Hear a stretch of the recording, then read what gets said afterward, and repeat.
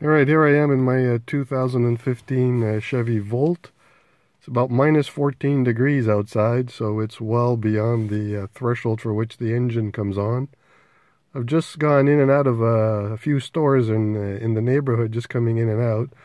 And as you can see, for the five and a half kilometers I, I have on the battery, I have also 4.4 that uh, were done on on the engine because the engine just virtually stayed on the whole time.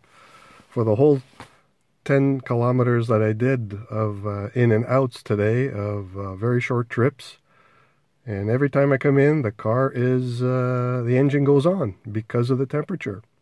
And that results in a whopping uh, fuel burn of eight, over eight liters per, uh, per 100 kilometers. It's not very good. The, the battery is still uh, charged I'm actually in my garage where it's nice and warm, but if I start the engine now, I actually start the car, you'll see the engine come on. See, the engine just turned itself on. There we go, the engine's on. I'm in my garage. And I still have 33 kilometers left uh, on, uh, on the battery, which is uh, unacceptable uh, the way this uh, works. Uh, I wish I had a copy of the firmware.